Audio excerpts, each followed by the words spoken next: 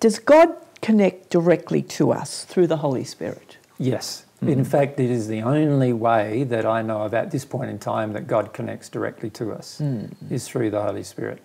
That's why I called it the Holy Spirit mm. because it was the, the, the term holy meaning pure, perfect, without sin, and uh, the, the the reason why I called it the Holy Spirit or or the feeling that I had at the time when I called it that name was that it was it was the most important energy coming from God. Hmm. I saw it as more important than the creative energy coming from God, more important than the maintenance type of energy that comes from God is this energy that carries divine love to the human soul. Hmm.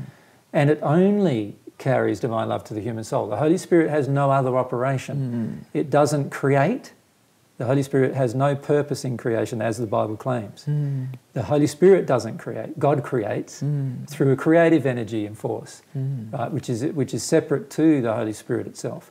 But the Holy Spirit, it does have a creative actions, but but the Holy Spirit itself is a is an energy, a conduit for the flow of love, and and not just the flow of any love.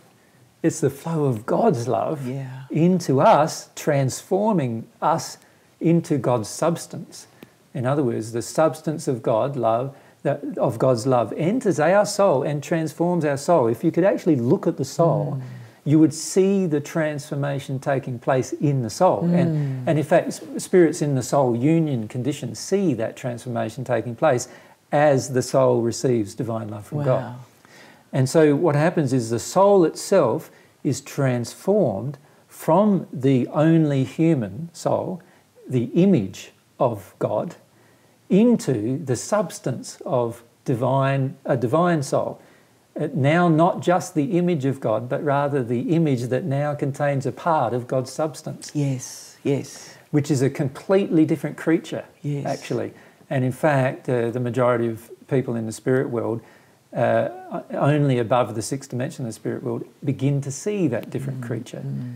And they start seeing, and in fact, spirits of the sixth dimension often think of these spirits in a higher location as being different creatures. Mm. And they don't consider that they could be that different creature. And that's the transformation that we often sort of hear about and That's right. desire is this transformation. You do become a completely new creature. You do become a completely new creature that's divine in its nature. You are mm. not God, No. and you will never be such. Mm, mm. But, but a part of God's substance, love, is now within you to a degree that you've become at one with God in the way you love. And because of this at one with God in the way that you love, it doesn't mean you might make other mistakes because you mm. will. Mm. You may you may not have other knowledge because you will continually gather more knowledge. You're not perfected in knowledge when you're at one with God. Right. You're perfected in love Yeah. right? It's love that is the underlying guidepost of what happens when you become at one with God.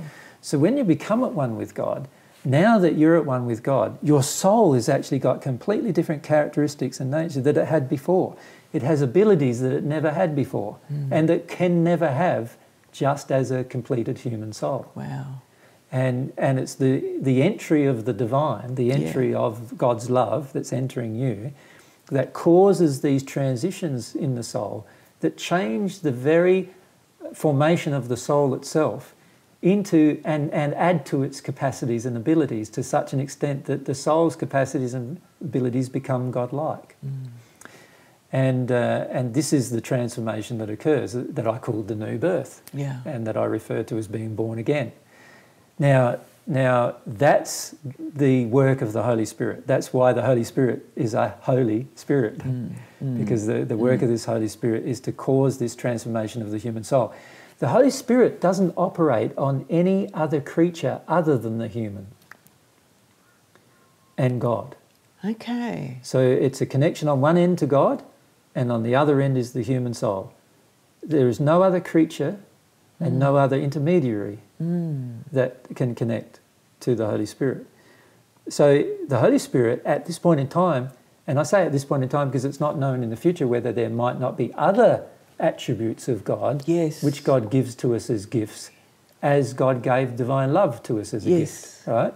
So in the future, there might be other attributes of God that God may give to us as a gift, and they might have a different type of energy Mm. that needs to be connected in order for their gift to flow between God's soul and our own. But the Holy Spirit is this gift that opens up everything.